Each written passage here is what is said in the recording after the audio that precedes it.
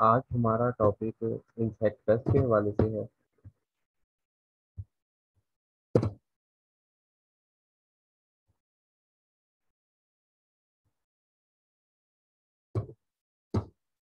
Insect pest of important field crops major field crops जो हैं, जो हमारे पास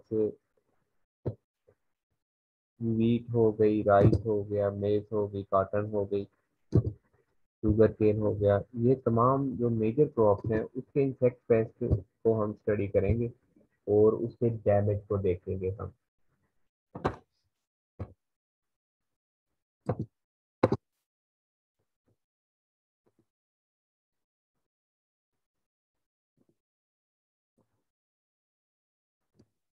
मेजर फ़ील्ड क्रॉप के लिए हम इंटीग्रेटेड पेस्ट मैनेजमेंट की स्ट्रेटजी हम इस्तेमाल करेंगे। इंटीग्रेटेड पेस्ट मैनेजमेंट की स्ट्रेटजी हमें हम मुख्तलिफ़ कंट्रोल मैयर्स जिसमें कल्चरल कंट्रोल है मैकेनिकल कंट्रोल है बायोलॉजिकल कंट्रोल है, इन तमाम मैयर्स को इस्तेमाल करते हुए हम कोशिश करते हैं कि इंसेक्ट पेस्ट की पॉपुलेशन बहुत कम हद तक लो हो जाए और हमें आखिर में केमिकल इस्तेमाल करना पड़े। ये इसका कंसेप्ट है। इसमें हम वीट राइस उसी तरह से कॉर्न या मेज शुगर केन और कॉटन की मेजर क्रॉप्स हैं। इसके इंसेक्ट पेस्ट और उसका डैमेज हम स्टडी करेंगे। ये नोट्स काफ़ी लेंथी होंगे आपके लिए तो इसमें हम सारे नोट्स नहीं कर रहे, ये तकरीबन आपके दस बारह पेजेस भी नहीं बनेंगे। सिर्फ़ हाईलाइटेड एरिया ये ग्रीन कलर का जो एरिया मैंने हाईलाइट कर दिया है, यही आपके सिलेबस का पार्ट है। बाकी आपके सिलेबस का पार्ट नहीं है। क्योंकि सिर्फ़ आपका ये आइडेंटिफिकेशन के बारे में है, इनकी आइडेंटिफिकेशन मेजर क्रॉप के इंसेक्ट पेस्ट की, और इसका सिर्फ़ डैमेज आपके सिलेबस का पार्ट है। इसको हम कंटिन्यू करते हैं। तो इंसेक्ट पेस्ट जो है, वो दो तरह से लॉस काज कर सकते हैं। एक तो ये इसकी क्वांटिटी यानी इसकी मकदार में कमी का बायस बन सकते हैं। जब इंसेक्ट एक चीज़ पे फ़ीड करेगा मिसाल के तौर पे हमारे पास दस चीज़ें हैं जिसके ऊपर इंसेक्ट फ़ीड करते हैं। तो फ़ीड करने के नतीजे में हमारे पास नंबर ऑफ़ प्रोडक्ट वो कम रह जाएगी जिसकी वजह से इसकी क्वांटिटी हम कह सकते हैं कि कम हो गई है। दूसरे नंबर पे एक चीज़ उसने फुली कंज्यूम नहीं की इंसेक्ट ने, लेकिन कहीं कहीं से खाकर छोड़ दी है। उस सूरत में उसकी क्वालिटी मुतासर होती है। खाई हुई चीज़ को या इंसेक्ट अटैच कमोडिटी को कोई भी प्रेफर नहीं करेगा पर्सन परचेज करने के लिए।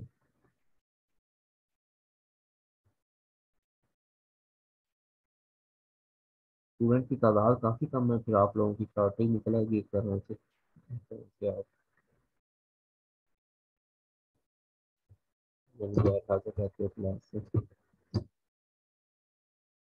अच्छा ना सिर्फ़ ये क्वालिटी में लॉस काज करते हैं और क्वांटिटी में लॉस काज करते हैं इंसेक्ट पेस्ट बल्कि खाने के दौरान, अपनी खुराक हासिल करने के दौरान ये कुछ पैथोजेंस इंजेक्ट करते हैं जो कि हम फिर क्रॉप्स के अंदर बड़ी डेडली डिज़ीज़ काज करते हैं।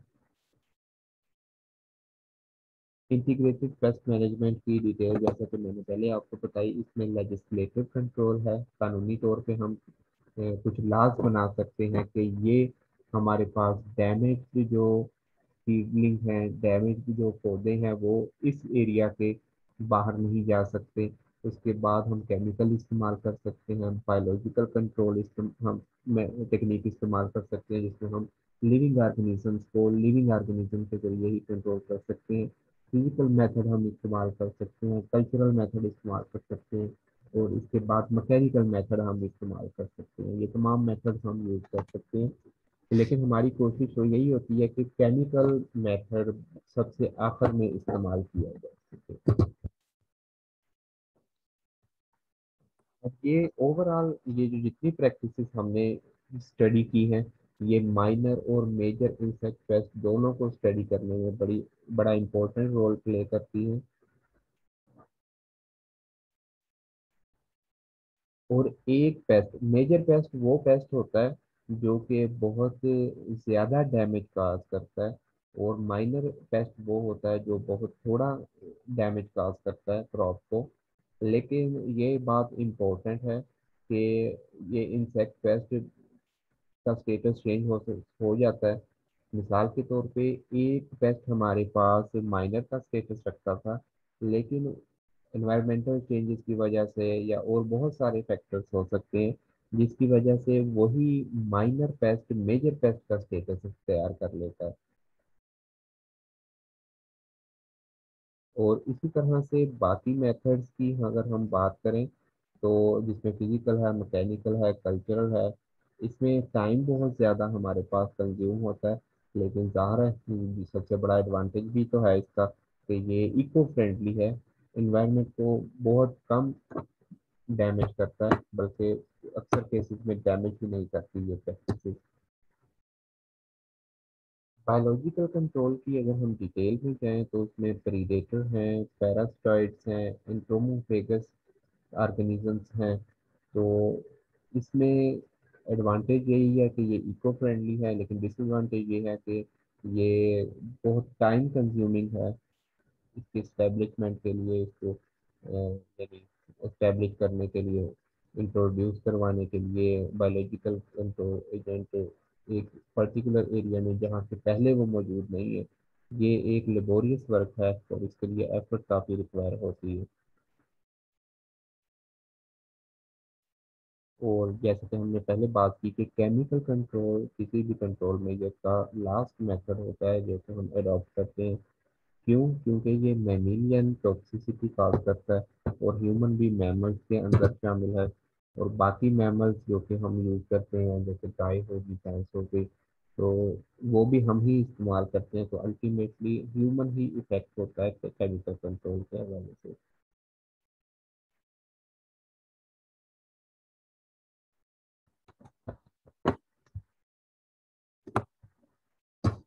बहरहाल हम केमिकल कंट्रोल बिल्कुल लास्ट पे रखते हैं ताकि हमारी क्रॉप को कम से कम डैमेज हो। अब मेजर क्रॉप्स में हम मेजर और माइनर इंसेक्ट डिस्कस करने जा रहे हैं। मेजर क्रॉप में पहले नंबर पे हमारे पास आ गई कॉटन कॉटन का फाइबर हम इस्तेमाल करते हैं। कॉटन कल्टीवेशन बहुत यानी डे बाय डे कम करती होती जा रही है। क्यों? क्योंकि इंसेक्ट पेस्ट का अटैक इस पर बढ़ता जा रहा है। इससे आप इंसेक्ट को कंट्रोल करने की अहमियत का अंदाज़ा लगा सकते हो कि फार्मर सिर्फ़ इंसेक्ट कंट्रोल ना करने की वजह से कॉटन को अवॉइड कर रहे हैं। सिर्फ़ जैसे मैंने आपको बताया कि सिर्फ़ हाईलाइटेड एरिया आपके सिलेबस का पार्ट है, बाकी आपको बॉर्डर करने की ज़रूरत नहीं है उसमें। डस्टी कॉटन बग इसके साइंटिफिक ये इंसेक्ट पेस्ट है जो कि कॉटन पे फ़ीड करता है कॉटन के लीव पे फ़ीड करता है। टेक्निकल नेम इसका ओक्सीकैरिनस लेटस है। फैमिली की अगर हम बात करें तो लेगिडी इसकी फैमिली है और आर्डर की बात करें तो हेमिस्ट्रा इसका आर्डर है। अब आइडेंटिफिकेशन में अगर हम आए तो इसके एग लार्वी प्यूपी और एडल्ट चारों फॉर्म की आइडेंटिफिकेशन शामिल हो सकती है लेकिन सिर्फ़ मैंने एडल्ट की आइडेंटिफिकेशन आपके सिलेबस का हिस्सा रखी है और प्रैक्टिकल नोटबुक्स में, में नोटबुक्स में भी आप लोग जो इंसेक्ट हम यहाँ पढ़ेंगे उसकी डायग्राम यानी उसकी पिक, पिक्चर आप नेट से निकाल लोगे और कलर डायग्राम आपने नोटबुक का हिस्सा बनाना है। सिर्फ़ अडल्ट की हम डायग्राम देखेंगे अडल्ट की हम पिक्चर देखेंगे सिर्फ़ इसमें बाकी पेजेस की तरफ़ हम नहीं जाएँगे। एडल्ट की अगर हम बात करें तो चार से पाँच मिलीमीटर साइज़ होगा इसके एडल्ट का। डार्क ब्राउन से लेकर रेडिश ब्राउन तक इसका कलर वेरी कर सकता है। और इसी तरह से अगर हम इसके विंग्स की बात करें तो ट्रांसपेरेंट विंग्स होंगे और निम्फ जो कि इसकी इमेच्योर स्टेज है, जो कि छोटी स्टेज है, जो कि फुली डेवलप स्टेज नहीं है। फुली डेवलप एडल्ट हम इसको नहीं कह सकते। इमेच्योर स्टेज में की है, इसमें विंग्स मौजूद नहीं होते।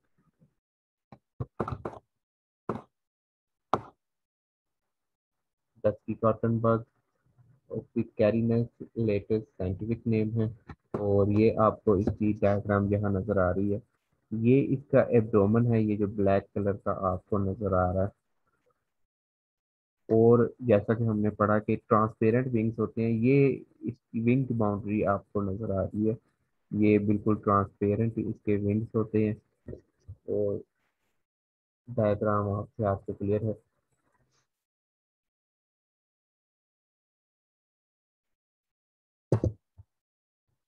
ये इसका ट्रांसपेरेंट आपको नज़र आ रहा है। डैमेज हम देख लेते हैं कि किस तरह से ये क्रॉप को डैमेज करते हैं।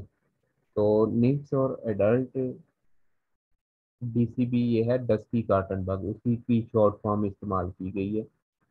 ये सकिंग इंसेक्ट पेस्ट की कैटेगरी में आते हैं, वो इंसेक्ट पेस्ट जो कि रस चूसते हैं कीड़ों का और रस चूसने के लिए स्पेशलाइज्ड माउथ पार्ट इनके होते हैं, जिनको हम स्काइलेट कहते हैं। और डी सैप ये सीड्स को करते हैं रस ज़्यादातर ये सीड्स का सक करते हैं।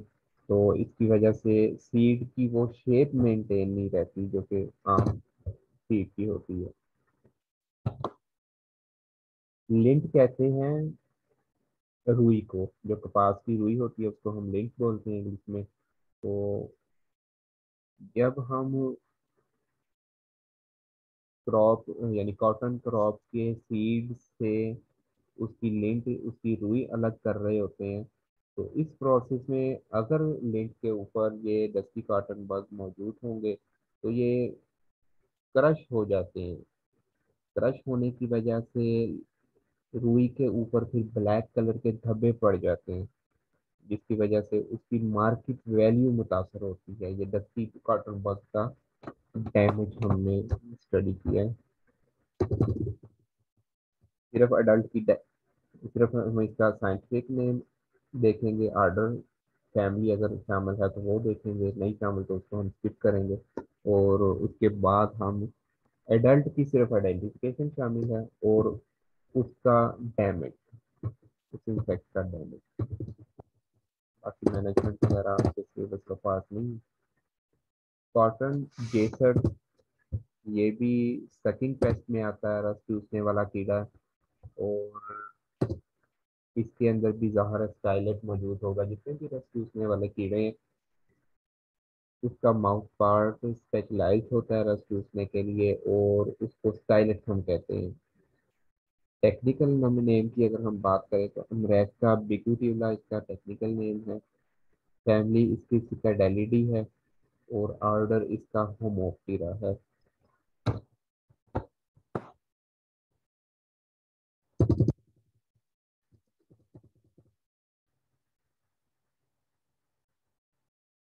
आइडेंटिफिकेशन तो येलोइश ग्रीन से लेकर पैरेट कलर के इसके अडल्ट होते हैं, और नेक्स्ट का भी यही कलर होता है।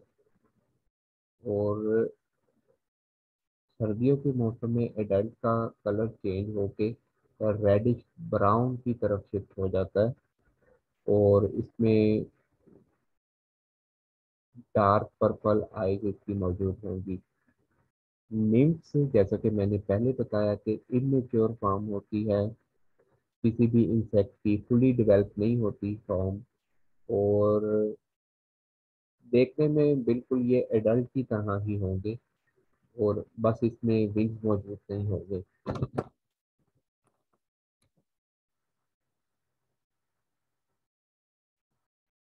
ये जेसड की डायग्राम आपको नज़र आ रही है।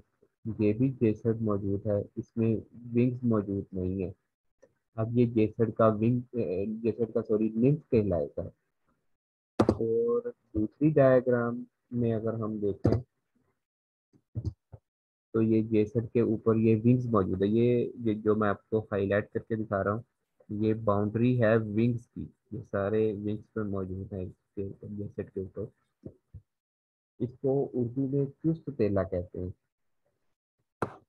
क्योंकि ये चुस्त होता है, बड़ी जल्दी सिलाई करता है, एक जगह से दूसरी जगह। कॉटन जेसड, एमरेस का बिगुटियोला इसकी भी डायग्राम आपने नेट से हाई डेफिनेशन डायग्राम निकाल के एक ही मरतबा, और इसके जो प्रिंट आपने कलर्ड प्रिंट लेकर नोटबुक में लगा लगाना डैमेज की अगर हम बात करें, जैसा कि हमने बताया था कि ये भी सकिंग टेस्ट में आता है, और अगर हम इसको अच्छे तरीके से कंट्रोल कर लें तो 22 से लेकर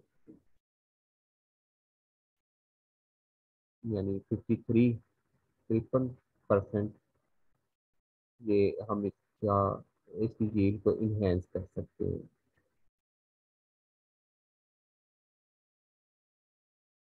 ना सिर्फ़ ये स्टाइलेट के ज़रिए सकिंग करता है टैप की, बल्कि इसके साथ साथ टॉक्सिक मटेरियल इंजेक्ट कर देता है, जो कि प्लांट के लिए और खतरनाक होता है। इस सेंस में कि उस टॉक्सिक मटेरियल की वजह से लीफ कर्ल हो जाते हैं, पीले हो जाते हैं और अल्टीमेटली वो गिर जाते हैं लीफ बहुत ज़्यादा इन्फेस्टेशन अगर इसकी देखी जाए तो 35 परसेंट ये हील को नुकसान पहुंचाता है। और जब सेल्स कैप सकिंग की वजह से प्लांट की विगर प्लांट की ताकत मुतासर होगी तो अल्टीमेटली उसकी, यानी फ्रूट रिटेनिंग और फ्रूट ऑप्टेनिंग एबिलिटी मुतासर होगी।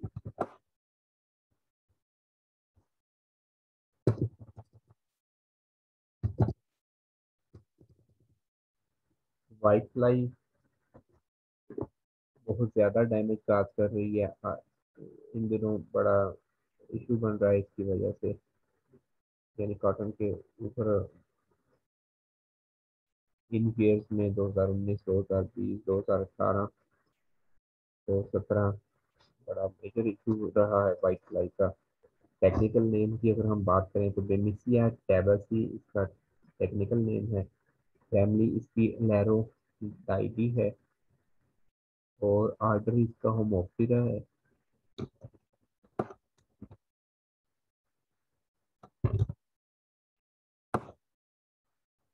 नीड्स जो है, इसके इमेच्योर स्टेजेस जो हैं, वो पीले रंग से लेकर ब्राइट येलो कलर इसका हो सकता है। और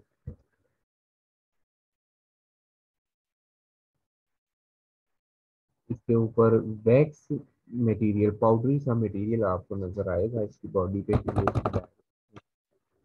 और इसके विंग्स जो है, वो सफ़ेद रंग के होंगे। बॉडी इसकी येलो कलर की है, लेकिन विंग्स इसके बिल्कुल सफ़ेद रंग के होंगे और पूरी बॉडी के ऊपर इसका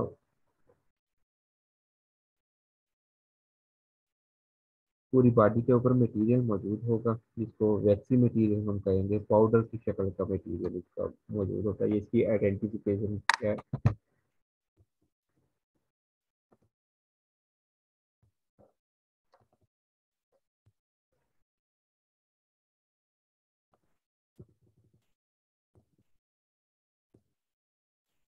अब हम बात कर लेते हैं इसके डैमेज की। निम्फ और एडल्ट दोनों इसका डैमेज काज करते हैं। ना सिर्फ़ डैमेज काज करते हैं, बल्कि मुख्तलिफ़ डिज़ीज़ फैलाने में भी।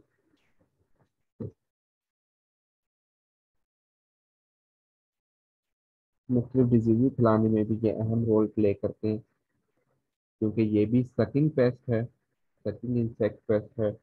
तो ये स्टाइलेट इस्तेमाल करेगा इंजेक्ट करने के लिए प्लांट के अंदर। अच्छा डायरेक्ट और इनडायरेक्ट दोनों तरह से ये लॉस काज कर सकते हैं। डायरेक्ट लॉस किस तरह से? प्लांट की विगर मुतासर होगी प्लांट की सेहत मुतासर होगी। और इस तरह से जब जब ये सेल्स है सक करेंगे तो अल्टीमेटली प्लांट की सेहत मुतासर होगी। और इनडायरेक्ट लॉस किस तरह से है? इनडायरेक्ट लॉस इस तरह से है कि अब ये शुगरी मटेरियल सक करते हैं। प्लांट का सैप मीठा होता है और जब ये शुगरी मटेरियल अपनी खुराक ले लेते हैं और उसको प्रोसेस कर लेते हैं तो वेस्ट प्रोडक्ट जो खारिज करते हैं, उसमें भी शुगरी शुगर के कंटेंट कहीं ना कहीं मौजूद होते हैं। अब शुगर के कंटेंट क्योंकि इसमें मौजूद होते हैं तो ये फैसिलिटेट करता है दूसरे ऑर्गेनिज्म की ग्रोथ को। खास तौर पे फंगस की ग्रोथ को ये फैसिलिटेट करेगा। फंगस की ग्रोथ को ये फैसिलिटेट करेगा तो उसके ऊपर फंगस की एक टाइप है जिसको हम सूखी मोल्ड कहते हैं। वो इससे ग्रो होना शुरू हो जाती है प्लांट के ऊपर। जब फंगस ग्रो होना शुरू हो जाती है तो फोटोसिंथेटिक एरिया पत्तों का डिक्रीज हो जाएगा। और पत्तों का जब एरिया डिक्रीज होगा फोटोसिंथेटिक तो अल्टीमेटली ये इनडायरेक्ट लॉस में शामिल हो जाएगा। कि डायरेक्टली तो ये लॉस नहीं काज कर रही, लेकिन इसी की वजह से सूची मॉडल ग्रो होगी और इसी की वजह से प्लांट की फोटोसिंथेटिक एक्टिविटी मुतासर होगी।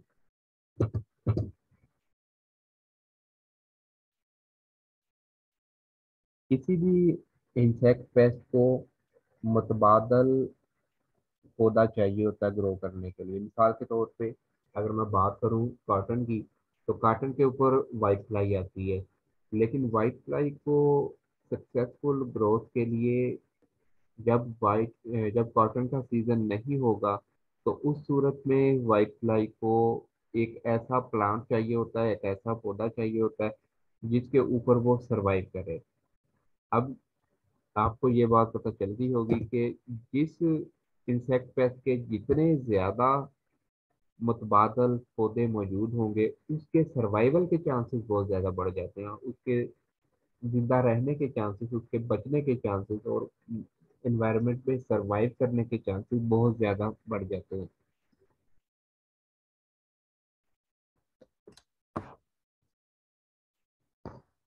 अब अगर हम वाइट फ्लाई की बात करें तो 700 प्लांट स्पीशीज हैं, जो कि अल्टरनेट होस्ट यानी मुतबादल मेज़बान के तौर पे काम करती है, जो कि कॉटन की गैर मौजूदगी में या किसी भी दूसरे पौधे की गैर मौजूदगी में इसको शेल्टर फराहम करती हैं और फ़ूड फराहम करती हैं। इसी वजह से इसका डैमेज बहुत ज़्यादा है। और तकरीबन 111 किस्म के प्लांट वायरसेस हैं, जो कि इसकी वजह से ट्रांसमिट होते हैं, सिर्फ़ इसकी सेटिंग की वजह से ट्रांसमिट होते हैं। ये इसका डैमेज है वाइट फ्लाई का। आज हम सिर्फ़ कॉटन के इंसेक्ट पेस्ट की तरफ़ फोकस करेंगे और उसकी डिटेल की तरफ़ फोकस करेंगे। रेड कॉटन बग भी कॉटन पे अटैक करता है।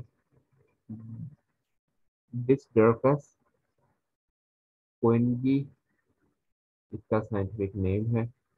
फैमिली की अगर हम बात करें तो फायरहोकोरिडी इसकी फैमिली है। रेड कॉटन की और आर्डर की हम बात करें तो हेमिप्टेरा इसका आर्डर है।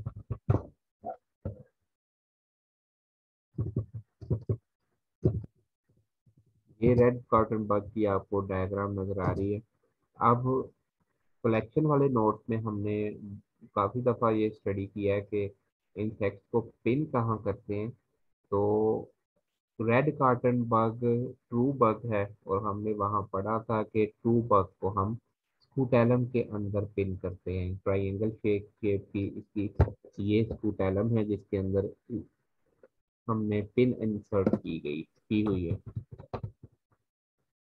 आइडेंटिफिकेशन डायग्राम आपको नज़र आ रही है। नाजुक इसके एडल्ट होंगे और ईंटों का रंग अगर हम गहरा कर लें तो उस शेप में ये हमें शो हो रहे हैं। ना ये मुकम्मल रेड है और ना ही ईंटों को सही रिप्रेजेंट कर रहा है तो इसको हम कहेंगे ब्रिक रेड कलर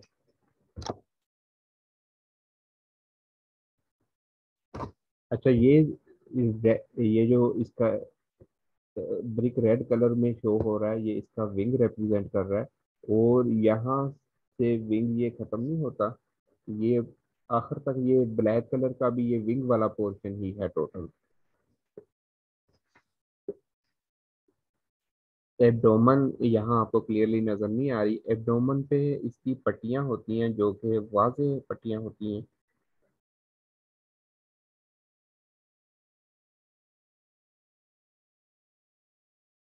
और बाज दफ़ा रेडिश कलर भी इसकी रेडिश ब्लैक कलर इसका एब्डोमन शो कर रहा होता है।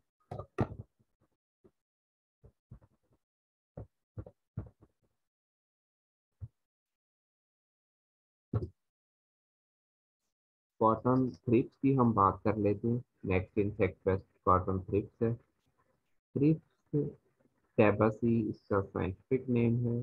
फैमिली की अगर हम बात करें तो थ्रिपिडी इसकी फैमिली है और आर्डर थाइसानोप्टीरा है इसका। डायग्राम आपको नज़र आ रही होगी। ये डायग्राम है इसकी और डायग्राम में ये इसके विंग्स आपको नज़र आ रहे हैं। पॉइंट कर रहा हूँ कि इसके विंग्स हैं। दोनों डाय दोनों पिक्स में एक डायग्राम में बहुत छोटे इंसेक्ट होते हैं रेड कार्टन बग की तरह। ये भी बड़े नाजुक होते हैं, इसकी बॉडी बड़ी नाजुक होती है। और इसकी बॉडी के ऊपर एडल्ट के ऊपर विंग्स मौजूद होंगे। जितने भी इंसेक्ट अब तक हमने पढ़े हैं इंसेक्ट पेस्ट ये सकिंग इंसेक्ट पेस्ट पढ़े हैं। और इसमें एक बात कॉमन है कि इसके निप्स में, इसकी इमेच्योर में विंग्स मौजूद नहीं होंगे। और इसके एडल्ट के अंदर विंग्स मौजूद होंगे। और इसकी बॉडी के ऊपर हेयर्स मौजूद होंगे और इसके विंग्स के ऊपर भी हेयर मौजूद होंगे। इसके आइडेंटिफिकेशन के हवाले से डैमेज हम देख लेते हैं कि किस तरह से ये डैमेज काज करते हैं। पत्तों के ऊपर फ़ीड करते हैं बर्ड्स के ऊपर फ़ीड करते हैं।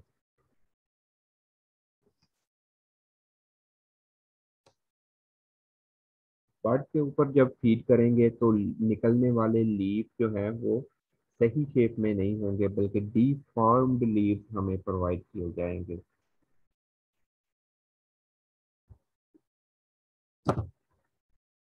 डीफॉर्म्ड लीव्स हमें मिलेंगे और इसी तरह से ये सीडलिंग पे ज़्यादा अटैक होता है थ्रिप्स का। सीडलिंग कहते हैं किसी भी क्रॉप के छोटे पौधे को, जिसको हम पनीरी भी कहते हैं उर्दू में। तो उस सूरत में हमें किसी भी इंसेक्ट पेस्ट की स्टेज भी पता होनी चाहिए कि किस स्टेज पे वो क्रॉप को डैमेज कॉज सकता है।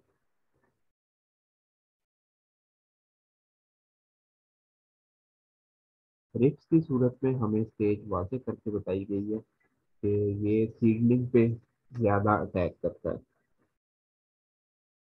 जून, जुलाई के अंदर जब बारिशें होती हैं तो सीज़न एक तरह से ठंडा हो जाता है।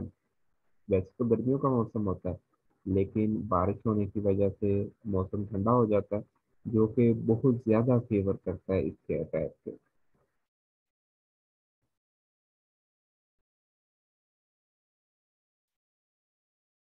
डैमेज हम किस तरह से आइडेंटिफाई कर सकते हैं कि लीव के ऊपर सिल्वरी अपीयरेंस हमें नज़र आएगी।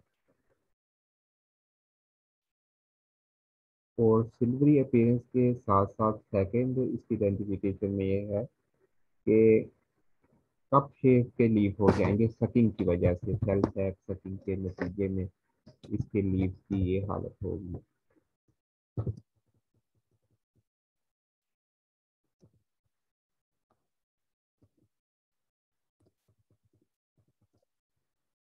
कॉटन एफर्ड पे हम बात कर लेते हैं। एफर्ड गोसीपाई या गोसीपी भी इसको पढ़ते हैं। इसका साइंटिफिक नेम है। एफीडाइडी इसकी फैमिली है और होमोप्टेरा इसका आर्डर है। ये आपको एफर्ड की डायग्राम नज़र आ रही है।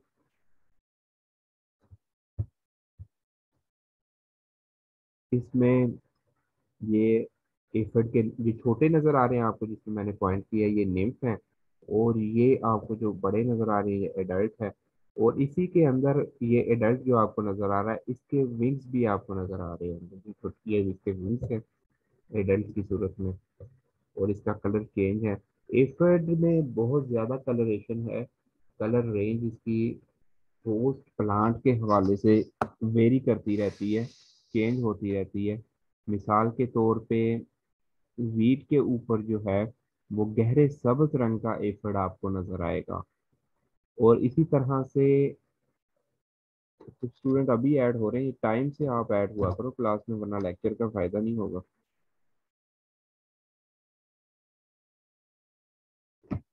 अक का अगर पौधा आप लोगों ने देखा हो तो अक के ऊपर आपको येलो कलर के एफर्ड नज़र आएँगे। एफर्ड की बहुत ज़्यादा स्पीशीज हैं।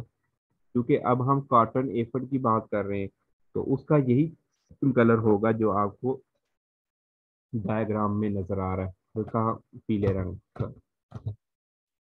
और एडल्ट इसका विंग्ड एडल्ट गहरे रंग का, गहरे ब्लैक कलर का। आइडेंटिफिकेशन हम देख लेते हैं। हाँ यही, वही चीज़ मेंशन की गई है जो हम पहले डिस्कस कर चुके हैं कि इसका साइज़ और इसके कलर में बहुत ज़्यादा वेरिएशन है। ना सिर्फ़ साइज़ और कलर में, बल्कि इसके मार्कोलॉजिकल फॉर्म्स में भी चेंजेस हैं। मार्कोलॉजिकल फॉर्म्स क्या होती हैं? आया के इसके ऊपर विंग्स मौजूद हैं। मार्कोलॉजी से ये निकला है। The study of external shapes of an organism known as morphology तो उसी से ये मार्कोलॉजिकल फॉर्म निकली है। या तो विंग्ड होंगे और या फिर विंगलेस होंगे। ज़्यादातर एफर्ट जो है वो विंगलेस होते हैं। और कुछ जो है वो विंग रखते हैं। और इसका कलर काफ़ी वेरी करता है। यहाँ एक टर्म इस्तेमाल की गई है अलेट अलेट कहते हैं विंग्स को। नेम्स क्योंकि इमेच्योर फॉर्म है, अब तक तो हम काफ़ी दफ़ा रिपीट कर चुके हैं इस बात को। और निम्फ के ऊपर विंग्स मौजूद नहीं होते।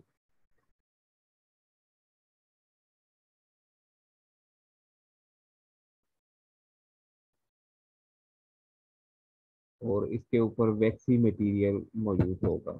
अब ये जो वैक्सी मटेरियल एफड के ऊपर मौजूद है, ये बहुत कम होता है अगर हम इसका मुवजना करें वाइट फ्लाई के ऊपर। वाइट फ्लाई के ऊपर वैक्सी मटेरियल काफ़ी ज़्यादा होता है, इससे अगर हम मुवजना करें तो।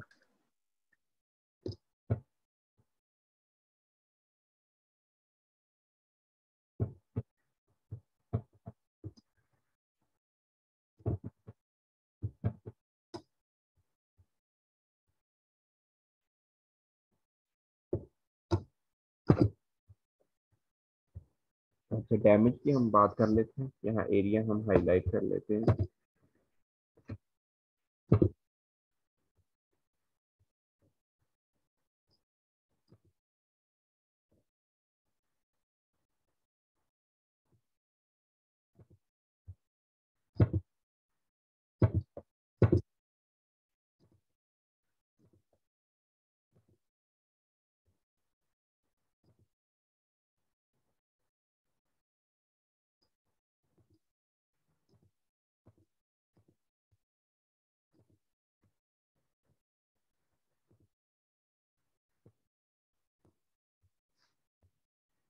अच्छा। मेजर इंसेक्ट पेस्ट में ये शामिल होता है क्यों? क्योंकि बहुत ज़्यादा डैमेज काज करता है। ना सिर्फ़ सकिंग के ज़रिए, बल्कि सूटी मोल्ड भी इसके ऊपर ग्रो की हुई होती है।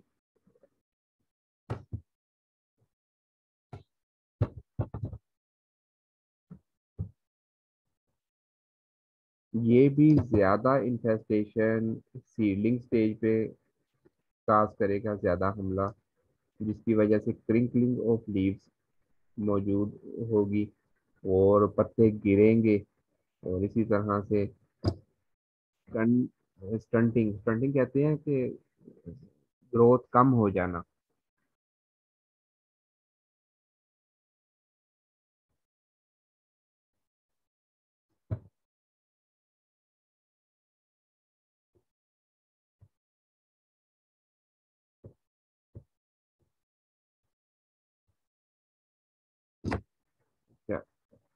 पच्चीस से कम एफर्ट अगर एक लीफ पे मौजूद हो काटन के ऊपर तो ये इतना ज़्यादा डैमेज नहीं कर, करते। लेकिन अगर इसकी तादाद पचास से बढ़ती है तो ये बॉल साइज़ जो काटन के बॉल होते हैं, जिसके अंदर सीड और रुई मौजूद होती है सीड और लिंट लिंट मौजूद होती है, उसका साइज़ रिड्यूस करते हैं और इसी तरह से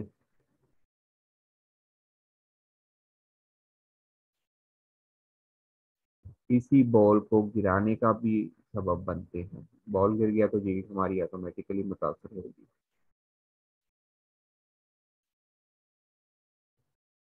स्क्रीन शॉट टी आर या जी आर कैप्चर कर ले तो नेक्स्ट क्लास में हम इसी इंसेक्ट पेस्ट और पैटर्न आज इंशाल्लाह मुकम्मल कर लेंगे।